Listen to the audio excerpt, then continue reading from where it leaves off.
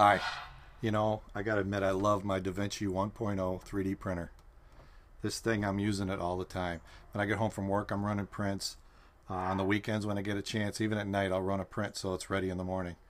And it's not just because of my designs, I'm doing designs for other people.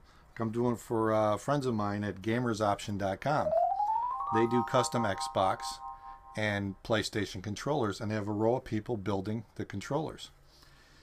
And uh, they need they have wall of pegboard that they wanted brackets mounted so they could put their rolls of solder or rolls of wire. So I agreed to make them a bunch of brackets right here, and I'm going to show you how to make one of these in today's episode. Here's the bracket design in Tinkercad. I've got a 70 millimeter post to hold the solder with a little end cap, and then there's an L bracket to hold the post. I added a triangular bracket to add support. This rests against the pegboard. And then there's a 6 millimeter hole put inside the L bracket. That's for a bolt and nut. Then there's two 6 millimeter posts that are spaced perfectly to fit into the holes in the pegboard. Now I wanted to just clean up the edges, so I used a hole tool to take away a little bit off the cap of the post and then a little bit off the bottom of the triangular bracket. So it's ready to go. I draw a selection box all the way around it and then click on group. This brings them all together into one solid bracket design.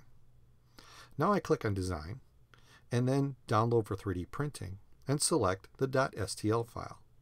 This will download the file to my computer so I'm ready to print. Now that we have our .stl file, I open the XYZware software that controls the DaVinci 3D printer, I load the file, it drops in place, and now we can adjust the settings for how we want to print it.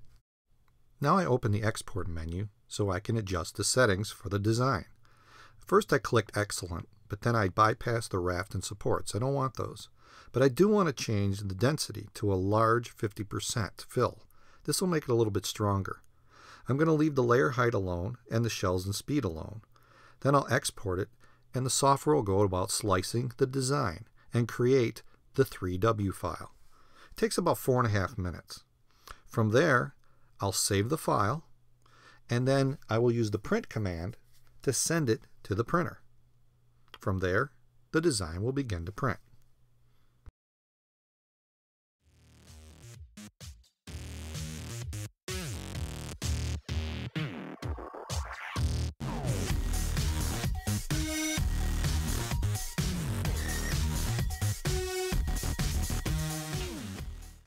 Now we have the finished bracket all cleaned up in three different views.